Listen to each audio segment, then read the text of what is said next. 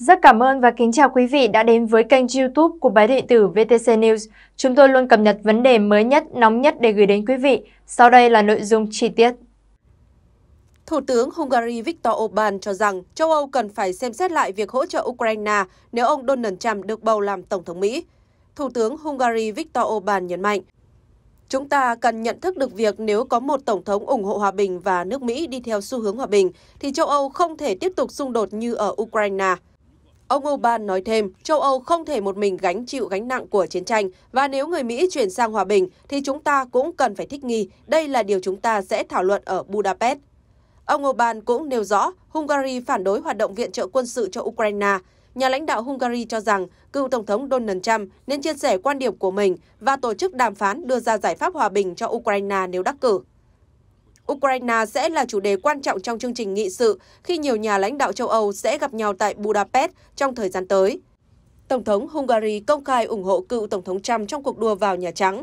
Tuy nhiên, châu Âu lại lo lắng về việc kết quả cuộc bầu cử Mỹ ảnh hưởng đến cuộc xung đột quân sự ở Ukraine và an ninh của lục địa này. Ngoại trưởng Hungary Peter Szijjarto cho hay chính phủ Hungary xem việc ông Trump đắc cử sẽ là cơ hội cho hòa bình ở Ukraine. Ông Orbán nhiều lần khiến Brussels tức giận vì mối quan hệ thân thiết với Nga và phản đối viện trợ cho Ukraine. Vào ngày 31 tháng 10, Tổng thống Hungary gọi điện cho ứng cử viên Đảng Cộng Hòa Donald Trump để chúc ông may mắn trước cuộc bầu cử. Phó Tổng thống Kamala Harris và cựu Tổng thống Donald Trump đang có những cuộc vận động tranh cử cuối cùng tại các bang chiến trường khi ngày bầu cử Mỹ đang cận kề. Trong khi ứng cử viên Đảng Dân Chủ Kamala Harris nhắm đến Michigan, thì ứng cử viên Đảng Cộng hòa Donald Trump lại đến ba tiểu bang dao động lớn nhất khi chưa đầy 48 giờ nữa sẽ diễn ra ngày bầu cử Tổng thống Mỹ. Michigan là một trong 7 tiểu bang chiến trường được theo dõi chặt chẽ. Ông Trump cũng đã lật ngược tình thế ở Michigan, thanh trì trước đây của Đảng Dân Chủ trên con đường đánh bại bà Hillary Clinton vào năm 2016. Tổng thống Mỹ Joe Biden từng đưa tiểu bang này trở lại phe Dân Chủ vào năm 2020 nhờ sự hỗ trợ của tổ chức công đoàn và cộng đồng người da màu. Tại cuộc vận động ở nhà thờ Greater Emmanuel Institutional Church of God in Christ ở Detroit, bang Michigan, bà Kamala Harris nhấn mạnh rằng chỉ còn hai ngày nữa, chúng ta sẽ có quyền quyết định vận mệnh của đất nước cho nhiều thế hệ mai sau. Bà Harris phát biểu, chúng ta phải hành động, chỉ cầu nguyện thôi là chưa đủ, chỉ nói thôi là chưa đủ. Chúng ta phải hành động theo những kế hoạch mà Chúa đã dành sẵn cho chúng ta, và chúng ta phải biến chúng thành hiện thực thông qua các việc làm, trong những lựa chọn hàng ngày, trong các dịch vụ cho cộng đồng, trong nền dân chủ của chúng ta. Về phía ông Donald Trump, cựu Tổng thống đã chỉ trích Đảng Dân Chủ trong cuộc vận động ở Pennsylvania, nói đảng này là đảng của quỷ dữ, chế giễu Tổng thống Joe Biden. Ông Trump cũng nói rằng kết quả cuộc bầu cử sẽ được công bố vào đêm bầu cử, bất chấp cảnh báo của các quan chức ở nhiều bang rằng có thể mất nhiều ngày để xác định kết quả cuối cùng. Hiện tại, cuộc đua vào Nhà Trắng đang diễn ra vô cùng căng thẳng, với nhiều tiểu bang có kết quả thăm dò ngang bằng nhau. Có khoảng 75 triệu cử tri tham gia bỏ phiếu sớm. Theo số liệu thăm dò trung bình do Real Clear Politics công bố, Tính đến tối ngày 2 tháng 11, không có ứng cử viên nào có cách biệt lớn hơn 3 điểm ở tiểu bang chiến địa trong 7 tiểu bang quyết định chức tổng thống. Phó Tổng thống Kamala Harris bỏ phiếu qua thư trước ngày bầu cử. Trước đó một ngày, ông Donald Trump và bà Harris cùng tới Bắc Carolina để lôi kéo sự ủng hộ tại tiểu bang chiến địa phía đông nam. Đây là lần thứ tư Phó Tổng thống Kamala Harris và cựu Tổng thống Donald Trump đến một tiểu bang vào cùng một ngày. Điều này nhấn mạnh tầm quan trọng của 7 tiểu bang có khả năng quyết định cuộc đua vào Nhà Trắng và những cuộc thăm dò dư luận gần đây cho thấy cả hai ứng cử viên đang ở thế cân bằng. Khi bước vào chặng đua cuối cùng, nhóm chiến dịch tranh cử của Phó Tổng thống Mỹ dự kiến tổ chức sự kiện kết nối trên 7 tiểu bang chiến trường vào ngày 4 tháng 11 để lôi kéo sự ủng hộ của cử tri. Bà Kamala Harris sinh ngày 20 tháng 10 năm 1964 tại Oakland, bang California, trong một gia đình có nguồn gốc nhập cư giàu trí thức. Mẹ bà là nhà nghiên cứu ung thư người Ấn Độ, còn cha là giáo sư kinh tế gốc Jamaica, Cả hai đều có đóng góp lớn trong việc hình thành nền tảng giáo dục và nhận thức xã hội của bà. Chính vì vậy, từ nhỏ, bà Harris đã sống trong môi trường đa văn hóa, thấm nhuần các giá trị về bình đẳng và công bằng xã hội.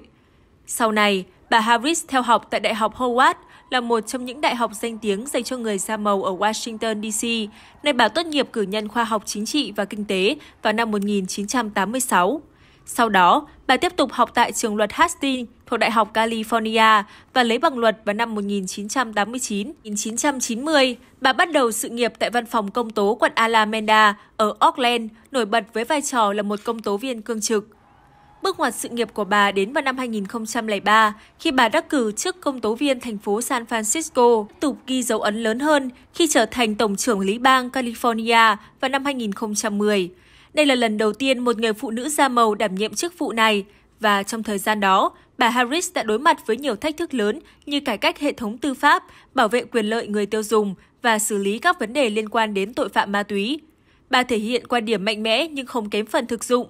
Điều này giúp bà xây dựng danh tiếng và củng cố tầm ảnh hưởng trên chính trường. Năm 2014, bà kết hôn với ông Doc Emhoff, luật sư người Do Thái gốc Brooklyn, New York. Họ đã cùng nhau nuôi dạy hai con riêng của ông là Chloe và Ella, củng cố hình ảnh về một gia đình hòa hợp và đa dạng trong xã hội Mỹ. Sự thành công trong vai trò tổng trưởng lý giúp bà Harris tiến xa hơn khi trúng cử vào Thượng viện Mỹ năm 2016, trở thành nữ thượng nghệ sĩ gốc Phi đầu tiên đại diện cho bang California.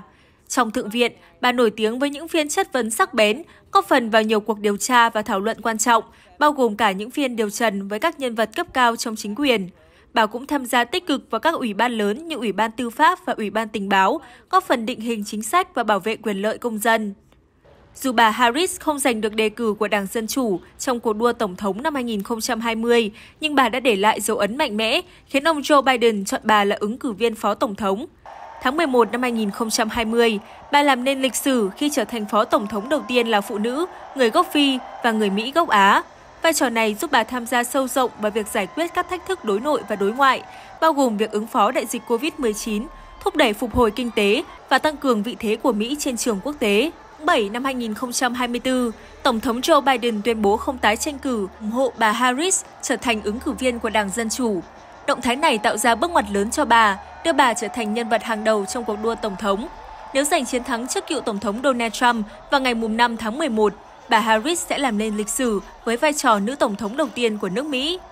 Bà Kamala Harris không chỉ là một chính trị gia có tầm ảnh hưởng, mà còn là biểu tượng cho sự đổi mới và tiến bộ, minh chứng cho việc mọi rào cản về giới tính và sắc tộc có thể bị phá vỡ. Sự kiên cường và quyết tâm, bà đã và đang tạo dựng di sản lớn cho các thế hệ tương lai.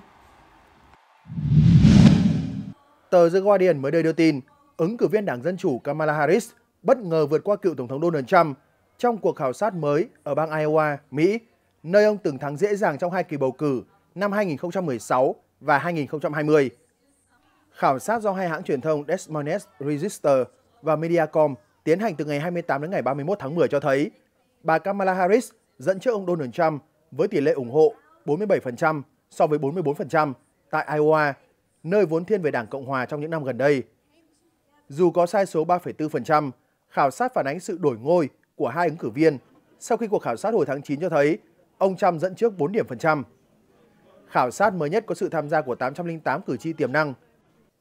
Theo tờ Des Moines Register, Cuộc thăm dò cho thấy phụ nữ, đặc biệt là những người lớn tuổi hoặc độc lập về mặt chính trị, đang thúc đẩy sự thay đổi gần đây hướng về bà Harris.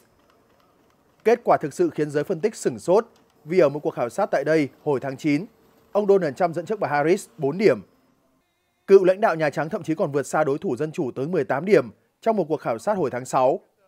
Hiện nay, cả hai đều đã tung ra những con bài tẩy chính sách của mình lên bàn để các cử tri xem xét. Ứng cử viên của Đảng Dân Chủ, Phó Tổng thống Kamala Harris đặt cược tấm vé trở thành nữ chủ nhân đầu tiên của Nhà Trắng bằng những chính sách cấp tiến, nhưng cũng không kém phần gây tranh cãi. Xét về thành tích đối đầu, bà Harris được hầu hết giới quan sát đánh giá là người nhỉnh hơn trong cuộc tranh luận tổng thống duy nhất giữa hai ứng cử viên. Dù diễn ra đột ngột và có rất ít thời gian để chuẩn bị, chiến dịch tranh cử của bà Harris vẫn được cho là khá ổn khi mang hình ảnh tươi mới, tích cực về bà đến với cử tri. Ở một diễn biến khác, sau 5 tuần bùng nổ, cổ phiếu Trump Media and Technology Group, DGT, công ty truyền thông của cựu Tổng thống Mỹ Donald Trump, đã mất giá 41% trong 3 phiên qua. Phiên ngày 1 tháng 11, mã này giảm 14% sau khi đã lao dốc 12% và 22% trong hai phiên trước đó. Việc này khiến vốn hóa của hãng hiện chỉ còn 6,1 tỷ đô la Mỹ. Chỉ trong 72 giờ, giá trị số cổ phần của ông Trump trong công ty này cũng chỉ còn 3,5 tỷ đô la Mỹ, mất 2,4 tỷ đô la Mỹ so với ngày 29 tháng 10.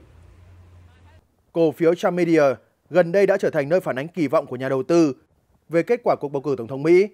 Trước khi lao dốc, cổ phiếu này đã tăng hơn 200% kể từ cuối tháng 9, kéo vốn hóa công ty lên 10,3 tỷ đô la Mỹ, cao hơn cả X của ông Elon Musk. Nhưng vài ngày gần đây, diễn biến tại Wall Street cho thấy nhà đầu tư lại đang đặt cược Phó Tổng thống Mỹ Kamala Harris giành chiến thắng, dù các cuộc thăm dò cho thấy không ai có lợi thế rõ rệt.